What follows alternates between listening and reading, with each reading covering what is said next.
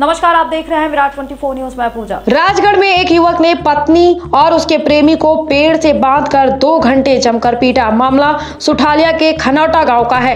प्रेमी संतोष पास के ही गाँव नरी का रहने वाला है। वह महिला से मिलने खनौटा आया था। पति ने दोनों को आपत्तिजनक हालत में देख लिया। उसने अपने परिवार वालों के साथ खेत में ही पत्नी और उसके प्रेमी को पेड़ से बाँध दिया और इसके बाद जमकर पीटा।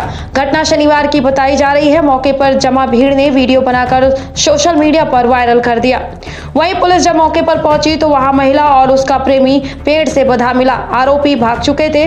महिला घूंघट में खड़ी रही और उसका प्रेमी दोनों हाथ पीछे कर पेड़ के सहारे काफ़ी देर तक खड़ा रहा। उसने बताया कि उसके साथ दो अज्ञात लोगों ने मारपीट की। किसी का नाम नहीं बताया। बाद में पुलिस ने जब तफ्तीश की तो पता चला कि महिला के ही परिजन और पति ने इन्हें बांधा और उसकी मारपीट की। पुलिस मौके से उन्हें थाने लेकर आई और मामले में रिपोर्ट लिखी है। थाना प्रभारी राम कुमार रघुवंशी ने बताया कि खनौटा गाँव के एक खेत पर महिला पुरुष को बांधकर मारपीट करने की शिकायत मिली थी। वहाँ जब हम पहुँचे तो एक महिला और पुरुष हमें मिले हैं, जिन्हें हम लेकर थाने आए हैं।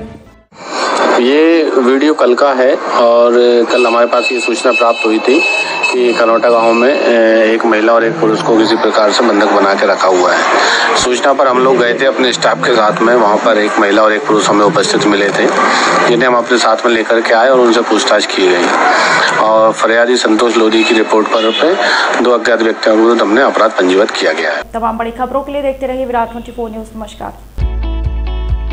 खुल गया खुल गया खुल गया। आपके शहर में सर्व सुविधा युक्त स्काई रेस्टोरेंट खुल गया।